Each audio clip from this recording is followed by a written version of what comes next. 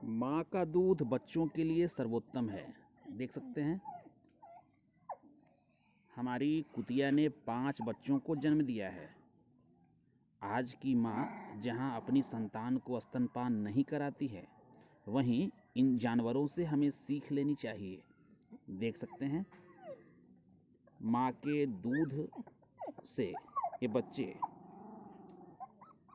तंदुरुस्त नज़र आ रहे हैं।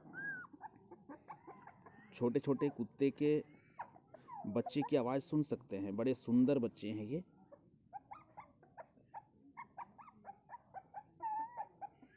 माँ गुस्सा नहीं करती।